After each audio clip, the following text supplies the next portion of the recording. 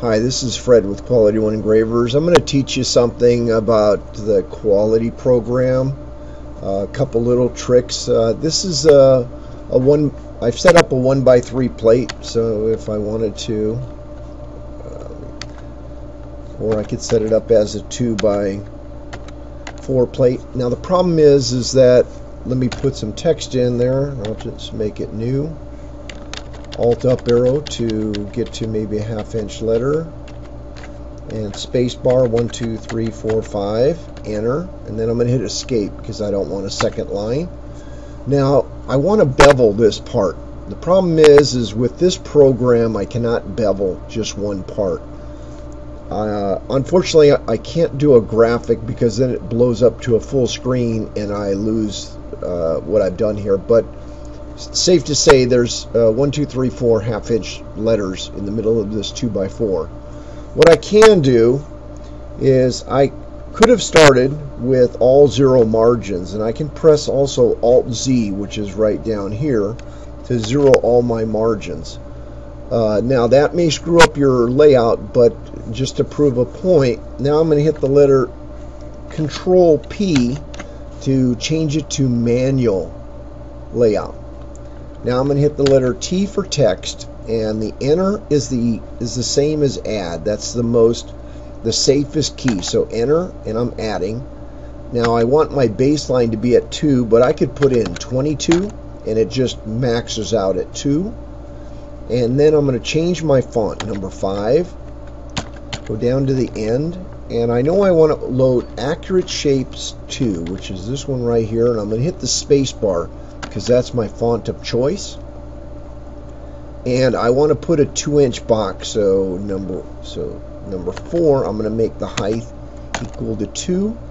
And if you look at the legend that was given to you in your font legend book the number one is a box. So I'm going to use number one and hit enter.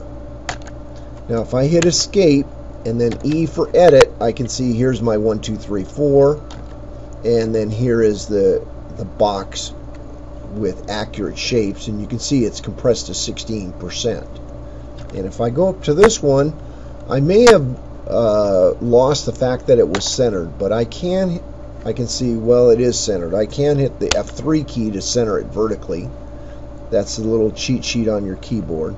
But I can see that it already was uh, stated inch and a quarter.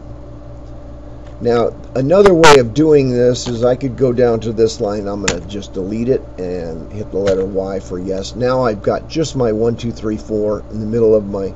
I can go to my Start menu. I have to put in the number of plates, which would be 2. And then I have to, to turn on my matrix is 6.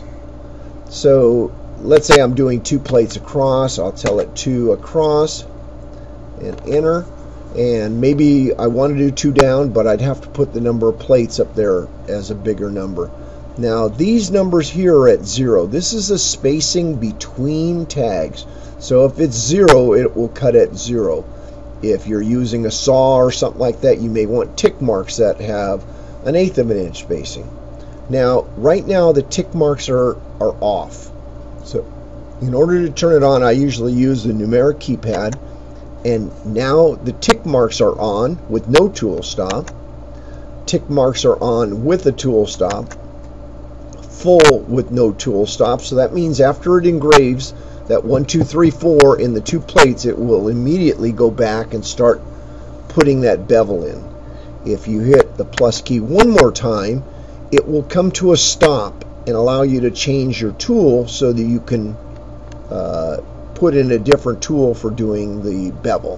And then, of course, it toggles back to off. So, uh, in your case, you may want it with a tool stop. That's normal. And uh, not the best key to get out of this menu. Also, this is the plate size that you need, what material size you need. You have to hit escape to get out of this menu. Now, another very cool feature is making a new home or using the number 5 key, which I call the tick key, moves you away from home a half an inch. And of course, just hit S5 to engrave it. I hope this helps.